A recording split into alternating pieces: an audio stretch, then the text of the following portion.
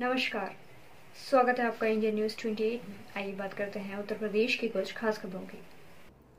उत्तर प्रदेश के मथुरा में सपा ने डॉक्टर राम मनोहर लोहिया जी की पुण्यतिथि मनाई है। मथुरा के कृष्ण नगर में मुकुंदा रिसोर्ट में हुए कार्यक्रम डॉक्टर राम मनोहर लोहिया की पुण्यतिथि पर सभी समाजवादी पार्टी के कार्यकर्ता उपस्थित हुए।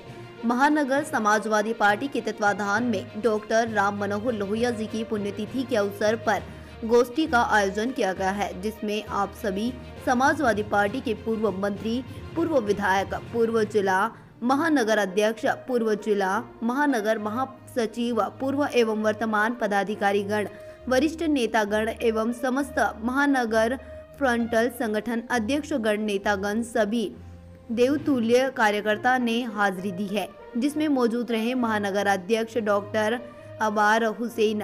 प्रदीप चौधरी रिजवान कुरेशी पूर्व विधायक हुकुम चंद तिवारी रवि यादव आदि कार्यकर्ता उपस्थित रहे हैं। कैमरामैन प्रदीप के साथ काना मथुरा तहसील से रिपोर्ट। काना मथुरा तहसील रिपोर्टर आज मैं आऊँ मथुरा के कृष्ण नगर में। तो यहाँ पे डॉक्टर मनोहर चल रहा है। सम्मान हो रहा है तो आइए बात करते हैं। सर आपका नाम?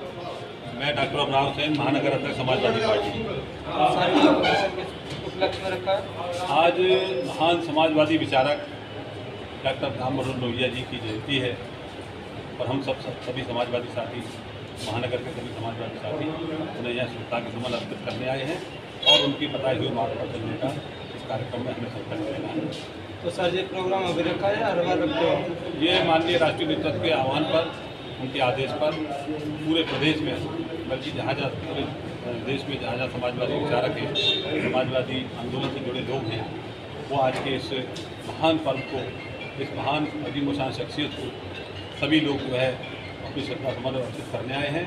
क्योंकि समाजवादी आंदोलन एक ऐसा आंदोलन था जिसने देश की आज़ादी से लेकर वर्तमान जो देश के हालात हैं, उन सब पर उनके विचार, उनके वैचारिक जो हालात थे, वह ऐसे हालात थे कि उन्होंने देश की आज़ादी में अपना पूरा योगदान दिया और उसके बाद जब देश आज़ाद हुआ, देश आज़ाद होने के बाद जो तमाम विसंगतियाँ फैली थी, राजनीतिक विसंगतियाँ फैली थी, समाज में जो अनेक प्रकार की कुरीतियाँ फैली थी, उन सबको दूर करने का काम डॉक्टर राम मनोहर लोहिया जी ने किया।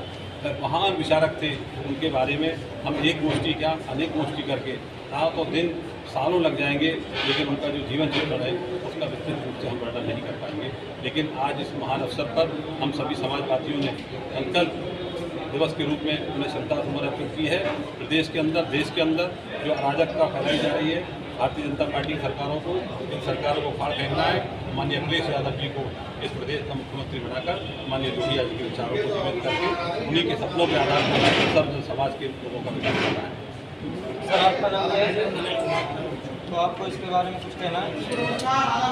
भैया जी। ये एक समाजवादी विचारक थे, जो कि गरीब मजदूरों की आवाज़ों को उठाया करते थे। आज समाजवादी लोग सारे इकट्ठे होकर इनके आदर्शों पर चलने का प्रण देते और आगे चल के किसी गरीब पे कोई अत्याचार होता है तो समाजवादी पार्टी हमेशा उसके साथ खड़ी हुई है और राम मनोहर लोहिया के आचरणों का